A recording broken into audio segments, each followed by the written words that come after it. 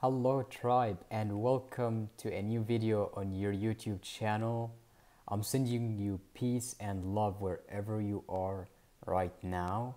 I hope your 2022 is going great with love, with encouragement, with losing fear, connecting with yourself, connecting with your goals, connecting with people more and more and more, and connecting with nature. If you love nature, make sure you see it every day or every week. so, let's finish the series of talking about finding God. I mean, this topic is endless if we were to talk about it, we would spend our whole, my whole life just talking about it. But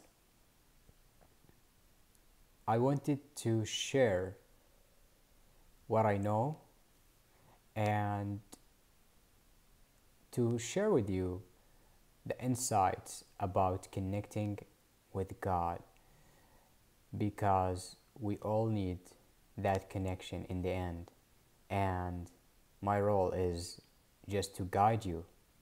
And the rest is definitely on you. And this is a life journey. It's not a mission for one time. You want to have that connection for the rest of your life for the rest of eternity. So it's really essential. And if you have connection with god then you know you have connection with everyone and everything as well let's talk about love, unconditional love. What is unconditional love? If we want to start, let's give an example. So, this will make it clearer, easier to understand, and to digest. The mom usually loves her children unconditionally. You could say 100%, you could say 90%, you could say 80%. It really depends on the relationship between the mom and her kid. But usually, the mom would give you anything without return and will do everything in her power to protect you to love you, to provide you with everything that you need from shelter to food to a room to, to, be, to be able to sleep in, quiet room. When you're sick, she would take care of you. It's unconditional. It's unconditional love. So this is just to give an example. And you know, lots of the times you might have conflicts or arguments as you grow up with your with your mom. And regardless, she would still love you. She would still love you. That's unconditional love. This does not mean she can't put boundaries and she can't have self respect and teach her kids to respect her but her love is always present, all the time, in all the circumstances. And she could not, she could not have hatred in her heart to her children. No way.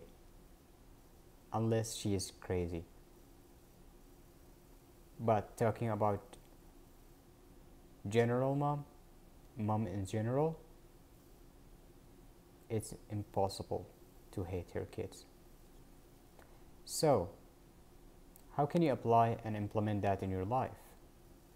Now, it's definitely not easy to love everyone and everything, and it might take you for the rest of your life to love everything and everyone.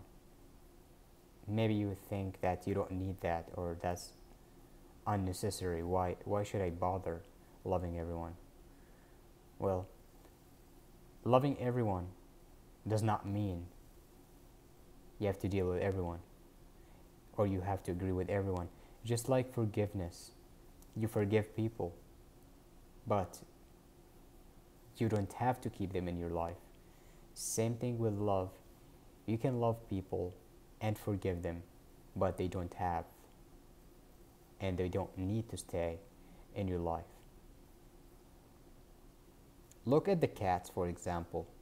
If you have a cat, or if you had a cat uh, before, um, you know that cats love unconditionally, and regardless of how many times you get angry at your cat, they will still love you.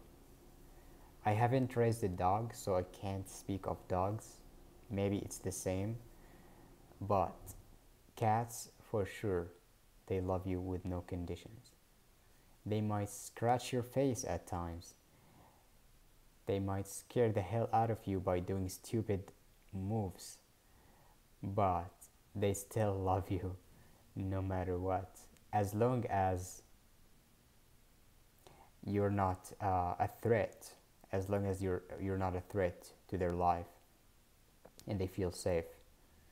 So unconditional love will make you love everything, including the tree, the flower on the street, the water. I mean, look at everything around you, look at nature. It's full of love. Nature is willing to give you everything you need from air that includes oxygen, food, water, the sun, all that. And even if you curse nature, even if you treat nature poorly, it will still treat you the way it was meant to treat you. That does not mean you have the right to destroy nature or to not respect nature. But what I'm trying to say is we can learn from nature that regardless of the amount of hatred or um, harm that we got from people, from others in the past or in these days, we can let go. And here's the secret the moment you let go of the energy of that person, how do you do that? By forgiving and loving them and wishing them the best, you allow them to exit your life. So, people who study energy will understand everything. The science now knows, and those who are into awareness, they know that you don't let go of people by holding on to them or by not forgiving them. You let go of people by letting go of their energy and that means by forgiving them, by letting go of the heaviness on your shoulders. So, try to think of someone who hurt you in the past. If you haven't forgotten them, it might take time, and that's okay. Just remind yourself you don't need to have grudge in your heart. It's not good for you. And you forgive people for you, not for them. You love people for you, not for them. And again, this is a process. It might take a lifetime.